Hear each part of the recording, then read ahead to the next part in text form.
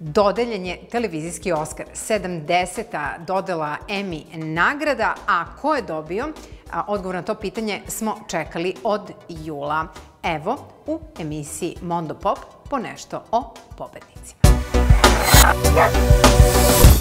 Kao što se moglo i predvideti, nije bilo previše iznenađenja na jubilarnoj 70. dodali Emmy nagrada. U kategoriji najbolje serije, koja je emitovana prošle godine, nagrada je po treći put završila u Westerosu, a nagrada za sporednu mušku ulogu je otišla u ruke Petera Dinklagea, dakle u kuću Lannistera, neki će da budu srećni zbog toga što je to u kući Lannistera, a drugi će da tuguju. Mnogi kritičari nisu očekivali ovakav rasplet do duše. Naime, Tradicionalno je da ako serija već dosta nagrađivana, a Game of Thrones je dobila već 46 Emmy u raznim kategorijama, Akademija, dakle, obično dodali jednu turu nagrada u sezoni poslednje sezone, kad se rastajemo. Ipak Game of Thrones se završava naredne godine i onda možemo očekivati da će ponovo da osvoje i da će i da se penzionišu. Kao što sam rekla, trenutni skor od kako je serija počela da se emituje je neverovatnih 128 nominacija za Game of Thrones. Ovaj princip daćemo vam jer smo vas do sada neprevedno ignorisali, koji često funkcioniše i pri dodali Oscara, išao je i na ruku seriji The Americans. Fenomenalnih šest sezona i neverovatno zaobilaženje ove serije, koje je dovelo i do toga da se kritičari ljute na akademiju, na kraju balade se i isplatilo. Matthew Rice je konačno dobio Emija za glavnu mušku ulogu, do duše njegova supruga u seriji i u stvarnom životu Kerry Russell, koja je takođe bila nekoliko puta nominovana, nije. A scenaristi Joe Fields i Joe Weisberg su dobili Emija za scenario i najbolju epizodu. Zaista je bilo dirljivo videti koliko kolege podržavaju ovu malu seriju, jer smo videli ovacije, navijanje, i skakanje po sali kao redko do sada.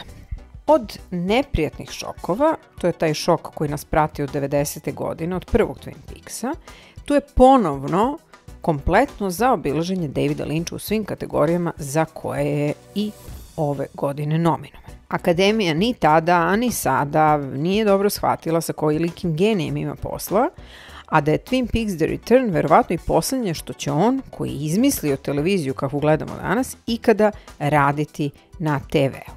Sram da vas bude članovi akademije i oni koji ste bili 90. godine i ovi koji ste sada, poručuje vam Mondo Pop. Takođe, prošlogodišnji Emmy ubica The Handmaid's Tale ove godine je zaobiđen u širokom luku iako mnogi tvrde da je druga sezona čak i bolja od prve. Nagrada za najbolju žensku ulogu otišla je u ruke Claire Foy, The Crown, a za spornu žensku ulogu nagradu je dobila Tandy Newton, Sačuvaj Bože Westworld. Ovo drugo, dakle Westworld, je posebno uznemirujuće jer pojma nemamo šta Tandy glumi, niti o čemu se za Boga radi u drugoj sezoni Nolanove maštarije koja je u prvoj sezoni bila zaista odlična. Očigledno je da su članovi akademije izuzetno inteligentni kad im je e, sve jasno u Westworldu koji je dobio dosta nagrada, većina su tehničke ili maska, šminka, tako to, pa što se kaže moglo je biti i gore. Christ is the power in my Is 83 good men? He is the power. Gone less than five minutes. Da dođemo i do miniserija. Mondo Pop Baba Vanga vam je hajpovala miniseriju Godless. Da li ste saslušali i pogledali, ja ne znam, ali je Jeff Daniels dobio Emija, kao i glumica Merit Weaver. Ova serija je dobila i Emija u kategoriji za najbolju muziku za miniseriju.